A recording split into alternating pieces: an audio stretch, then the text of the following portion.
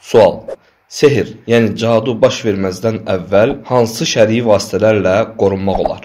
Cavab: Cadu təhlükəsi baş verməmiş, onun qarşısını almaq üçün ən mühüm vasitələrdən biri şərii zikirlərlə, dualar və sünnədə gələn Allaha sığınma zikirləri ilə qorunmaq. Bunlardan biri də Ayətül Kürsini yatan vaxt oxumaq. Və eləcə də hər fərz namazından sonrakı səhih zikirlərin ardınca oxumaq. Hər fərz namazından sonra İxlas və sığınma, Fələq-Nəs surələrini oxumaq.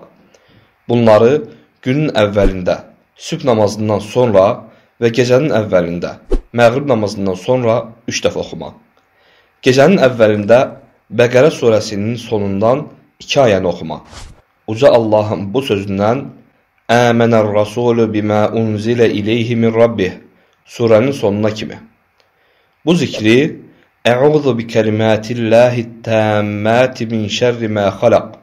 Gece ve gündüz herhangi bir yerden binaya, sehraya, havaya veya denize inerken çok okumak. Günün evvelinde ve gecenin evvelinde üç defa bu zikir etmek. Bismillahillezî la yedurru ma'asmihi şey'un fil ardı ve la fis semâ ve huves semî'ul alim.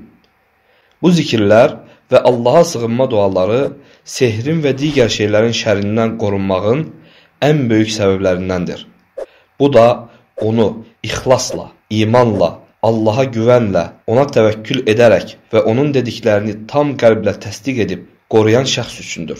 Həmçinin sehrin meydana çıxmasından sonra onu dəf etməyin ən böyük səbəblərindən biri də zərəri aşkara çıxarmaq və zərəri aradan qaldırmaq üçün nöqsansız Allaha çoxlu dualar etmək. Daha doğrusunu Allah bilir.